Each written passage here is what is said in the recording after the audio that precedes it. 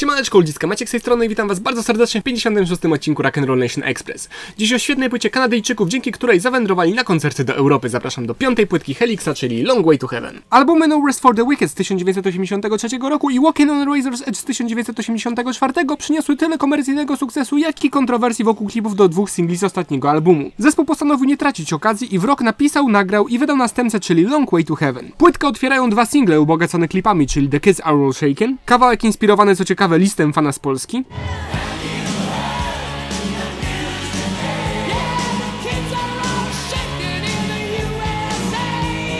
oraz piękna ballada Deep Cuts the Knife, jeden z moich ulubionych utworów Helixa w ogóle.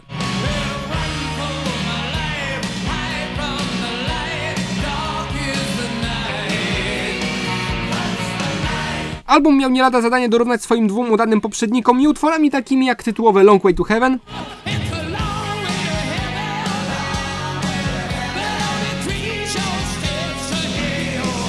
zasuwającym House on Fire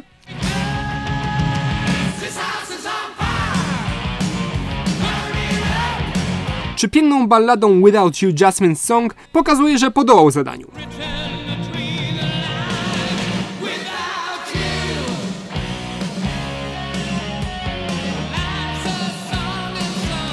Moją uwagę także przykuły Ride the Rocket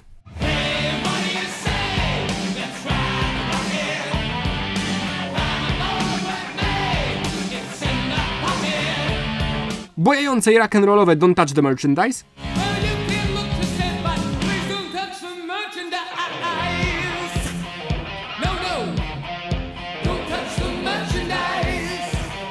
oraz Christine z prostym, acz zapadający w pamięci refrenem.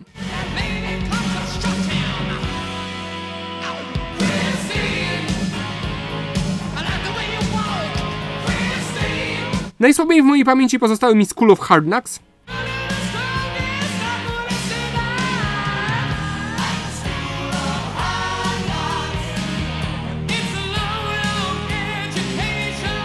oraz ostatni utwór na płycie, czyli Bangin' Over the Bricks.